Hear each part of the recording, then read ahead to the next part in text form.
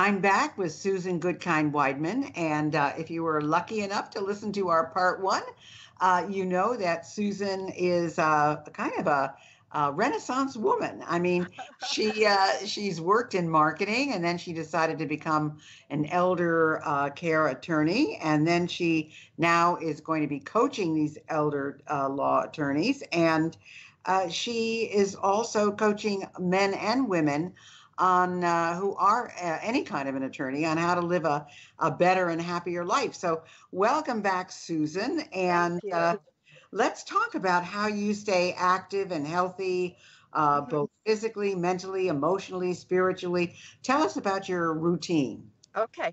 Um, I am very fortunate. My mother was a Renaissance woman. I love that you said that. She set the tone and the inspiration for me from being when I was a child. I have always exercised.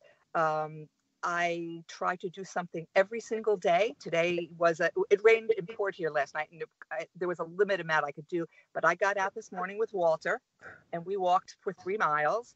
Um, so I try to do something. I walk, I bike, I ski, I hike, something every day.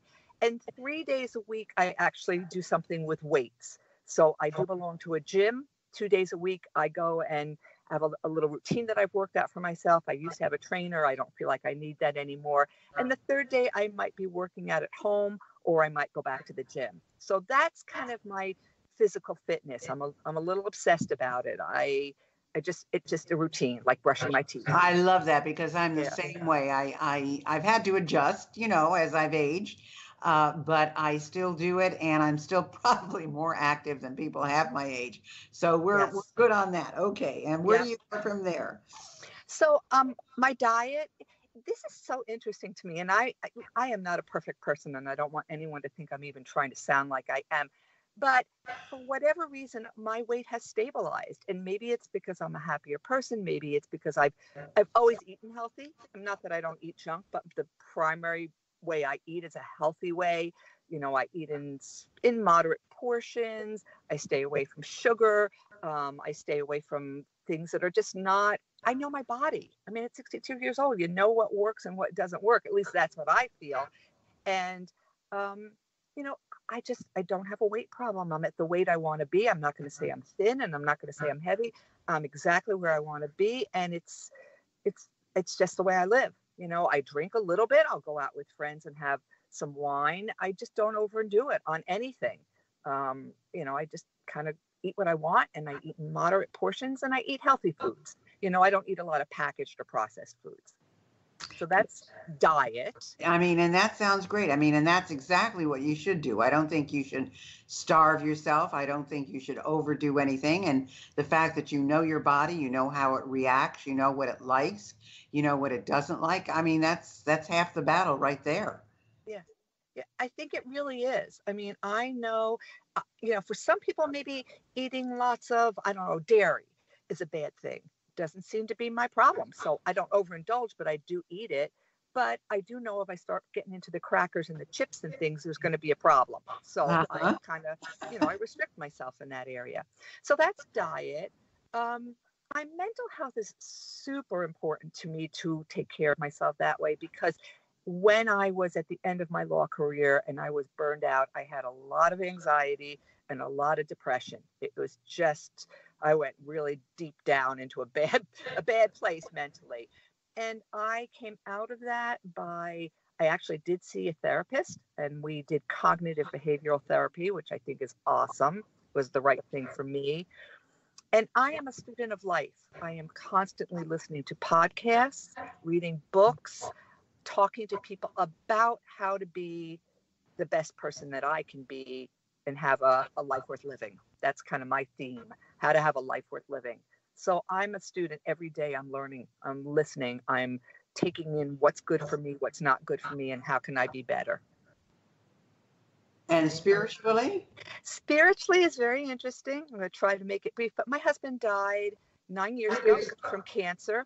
Prior to that, I did, I was, I, in my whole life, I was Jewish. And um, when he passed away, I kind of had a little battle with the, with God and said goodbye you know this i don't like what you did here and i don't believe in you and anyway i just walked away from religion for about nine years.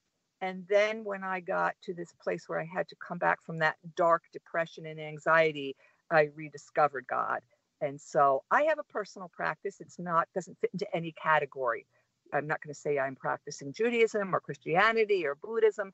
I have my own way of connecting with God on a regular basis and uh, asking for His help and guidance. Well, that's wonderful, and that's you know that's one of the things that I think. Um, well, many young people today are exploring the same thing, but I know when I was young, you did what you were supposed to do. Yes. And I think as you age, um, you you explore more and you are open to more. And as long as you have some kind of source, whatever that is, yes. uh, and you live a very uh, good life, like you talk about, mm-hmm. and you you follow, you know, you're ethical and you're moral. I think whatever you do is great. And so uh, I think that's becoming more and more popular, and I think that's happening more and more. So, would you say what event really changed your life the most? Was it the death of your husband? Was it uh, deciding to go into law? Was it deciding to sell your practice? What was the life event that changed you most? Well, those are all, you hit the high points. I guess I have to say it was the death of my husband. Um, you know, we had a child who was 10 years old when my husband got cancer. I never saw this coming. I had no idea of how it was going to play out. Um, it was it was life changing. It was very sad. It was very hard to watch somebody you love die. Um, the whole medical being in that world and dealing with all of that. I never in a million years thought I would be a widow. You know, I mean, I wasn't, I was 52. I mean, I wasn't, you know, 22, but never, never imagined that I was going to be a widow and raise a child by myself and have to be so supporting for myself. I mean, that so I guess that all did change my life in a big way. Yeah. Interesting. Yeah, I lost my husband 11 years ago. In fact, oh. yeah, and um, I, I can't say it was unexpected. He was not a good boy. He was a terrific husband and father and man, but you know, men are not the best when it comes to taking care of themselves. And so, yeah you know, uh, he didn't do what he was supposed to do all the time, and that's what did him in. Oh. But, uh, you know, I also was so independent because I had my own business and I had my business when we got married. Uh, and, um, you know, my kids were all adult. So, um, we were married for 45 years so mm-hmm. it was uh, it was a different situation and yet mm-hmm. i still miss them every day. Mm-hmm. and i know what you're going through because i'm now going through my fourth case of breast cancer so i'm fighting oh, well uh, but you know i'm never giving up so right. um, the whole point i think is uh, you know really uh, being who you are in the present moment being present every day, being aware of where you are and who yes. you are and so forth. Now, one of the things that you say, I think you say you love it. I don't love it, but uh, which is why I moved away from the north. You say you get lots of snow where you are. And I know that you do because I gave an example when I was up there. Um, does that limit you at all, or does that just uh, intrigue you and invite you to do the sport that you love? When it is within our control, I do love to get outside. I do love to enjoy it. I love to play. Last winter, like a lot of places, we had a winter to uh, that uh, the snow was as high as the roof of my house, and it was almost frightening how much snow there was, and it did get to be a little bit of a problem. Um, but there's always resources. I mean, you know, I had to hire people to come shovel the roof of my house. I hired people to come help dig out all over the place um, I have a lot of good equipment myself, but this was beyond beyond what one person could manage. And we were all in the same boat. Everybody was the same way. So that became a bit of a limitation. And like you, I do, I'm traveling a lot now. My new jobs get me, you know, out the door a lot. And I'm a little concerned about how this is going to play out flying out of here in the winter because I know it's not easy but you know what? I'm just going to see. I'm going to go, I'm going to try. I'm going to do it. I'll find a way, you know. Interesting. The other thing that I think might be great for our listeners to to hear, even if maybe their kids are out of the house, but maybe advice for their own kids. Uh, what was it like? How did you handle uh, raising a child of 10 by yourself? That's a great question. And really by myself, because not only was my husband not here, but we have no relatives here. I mean, my my closest relative is six and a half hours away in Chicago, and he's quite a bit older than me. So we had no family here. And it really was through the grace of my friends and the people in this community, which is one of the things I love about living in a smaller community, that people helped me. People stepped up. And, you know, I didn't want help at first because I am independent like you. You know, I can do anything, or at least I thought I could. And I finally opened that door and said, Yeah, I'll accept the help. And whew, you know, it's that's the way it was. He's a wonderful person, you know, my child. Um, he's had some rough situations, rough things for a kid, but we both use those as learning. How can we learn from this? Where do we go with this? We supported each other. It's been a lot of growth. Um, and I guess I'm blessed that he went the right way with it. You know, I guess some kids could have really gone into a dark place with it. He did not. He he learned from it. He lets his father be an inspiration to him. I wrote him a little book after his dad passed away. I put together a book for him of pictures and words and things that his dad had said for him. And I actually interviewed my husband before he died about his wishes for my son. And I put all that in the book too. And so it hasn't been easy. I'm not going to say it's been easy, but it's it was it, we did it and we've done well. Well, and I think that's uh, that's an important thing for our listeners to to hear is the fact that nobody lives a perfect life. Everybody has stuff, and you know your child is going to experiment. Your child is going to get into trouble. Your child right. is going to do a misstep here and there, but you have to love them no matter what. And you have to work with them and get them help and and guide them yes. and, and hopefully they do come out the other end okay. And I think that that's part of uh, being a parent. I mean, uh, there's not a glorified life for anybody. So, what is your advice for creating a good kind of life? I love that. You know, that's Thank that's you. your name, you. and uh, yeah. I love it. I, you know, this is my opinion. Obviously, people do things different ways. I think it starts inside of you.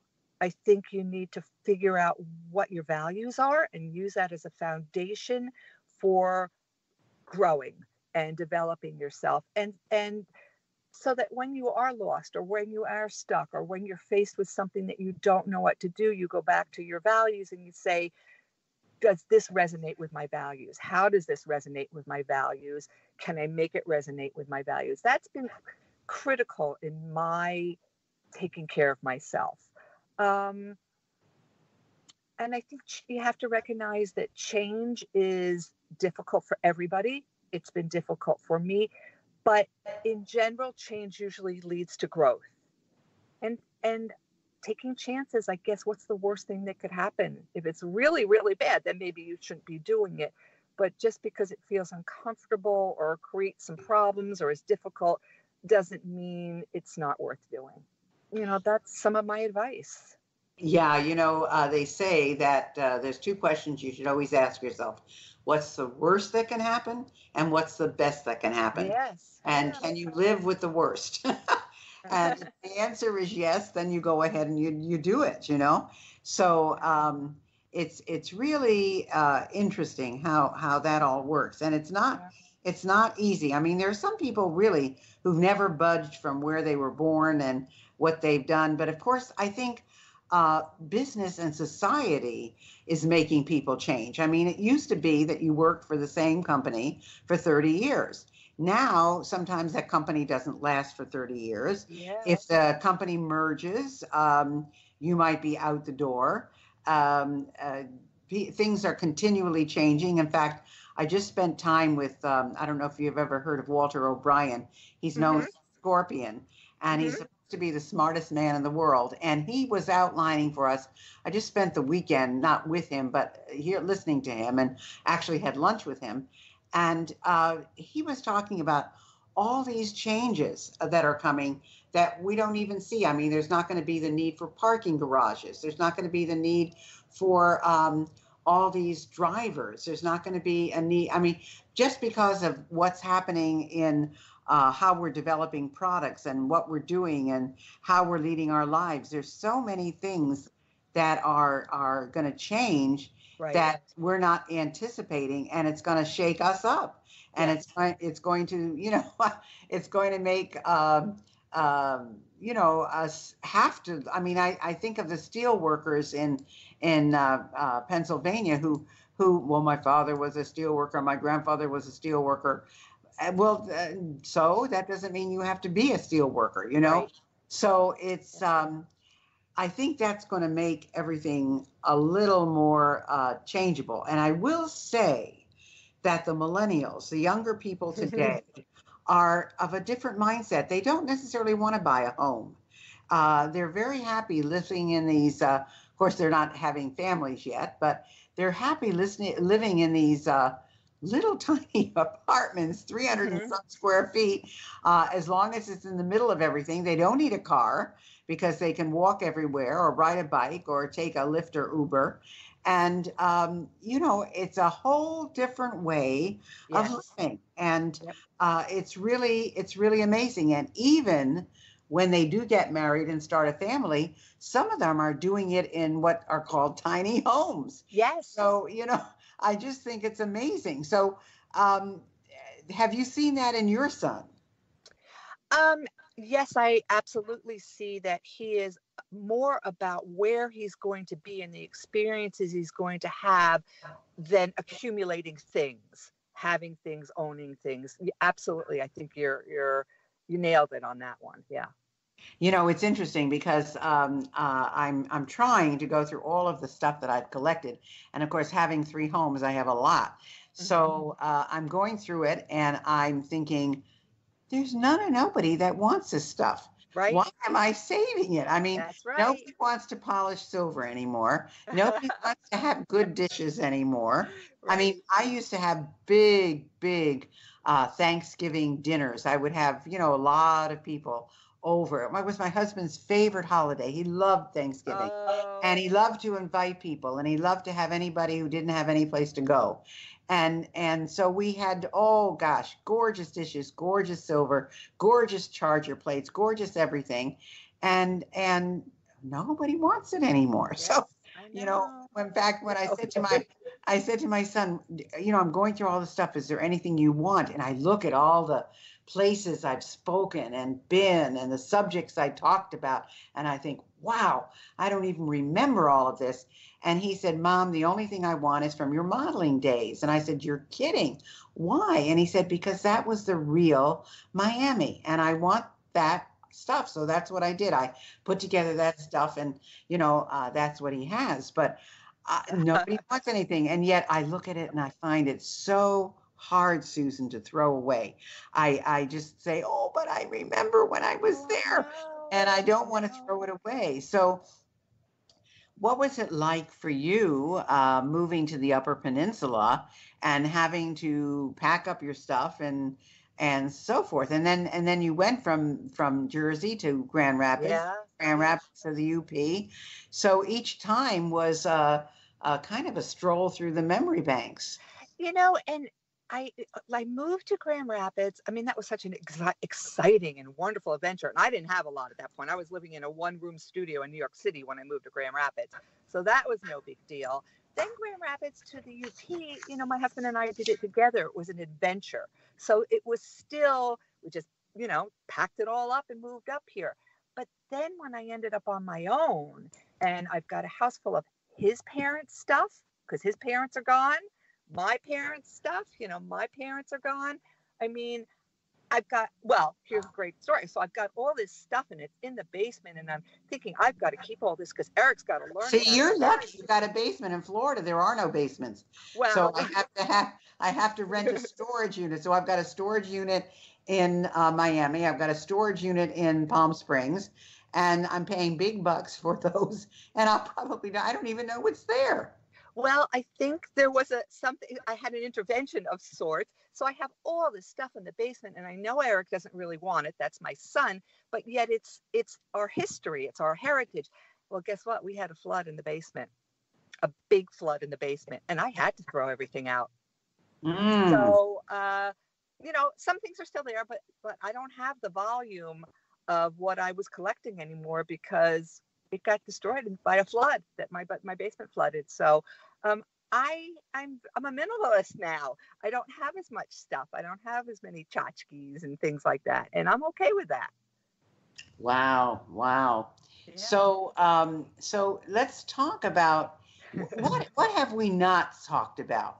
What have we not talked Okay. about that you would like to? Sure. I- Because I we've got about five minutes left, and I want to make sure we get everything in. Before we do anything, how can people get in touch with you? Okay. My handle is Goodkind of Life, and it runs together for Facebook, or I'm on Facebook, I'm on Instagram. I just started a website, Be Kind. I'm just getting going with it. Um, but it's everything is Good Kind of Life, G O O D K I N D O F L I F E. And so it's Instagram, Facebook, my website, and I'm on LinkedIn too, but that's not really a place that people are maybe using my services. It's more for me to learn. Um, anyway, what I want to add, and I really appreciate you asking me this um, anxiety and depression. I have dealt with it many times in my life. Um, it's not something that generally goes away on its own. And I guess I would urge people who feel that they're dealing with those kinds of problems to get help.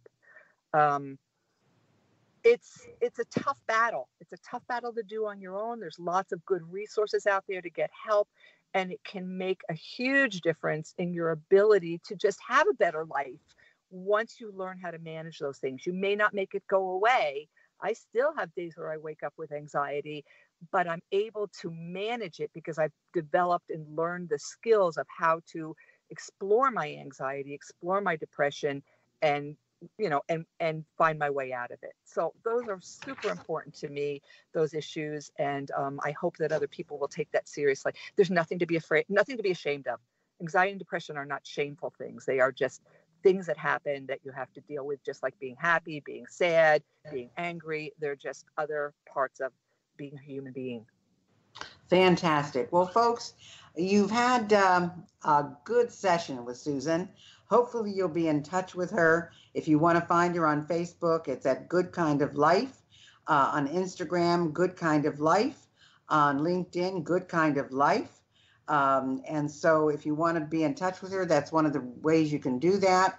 And um, wow, this has been absolutely Yeah. fantastic, Susan. I hope that you will uh, continue to do all the good things that you are doing. And, uh, you. uh, you know, you're a very valuable resource. And I think people need to know you and love you. And uh, I wish you only the best with uh, your new venture, which I think is fantastic. I mean, Thank I think it very would- much. I think it would be an honor to be coached by you. You've got a lot of life Oh, thank experience and uh, I think that uh, I really think that people would uh, will benefit from this. And so, you lawyers out there, you know, uh, you elder care people, you know, uh, pay attention to what she has to say. She's got lots of knowledge. She knows what needs to be done. And for those of you who are simply in another profession of legal uh, work. Uh, there she is for you. She's there to help you in any way that she can. So thanks so much for being with us, Susan. Uh, love having you. you and uh, the best wishes. Thank you, and I wish the same to you too.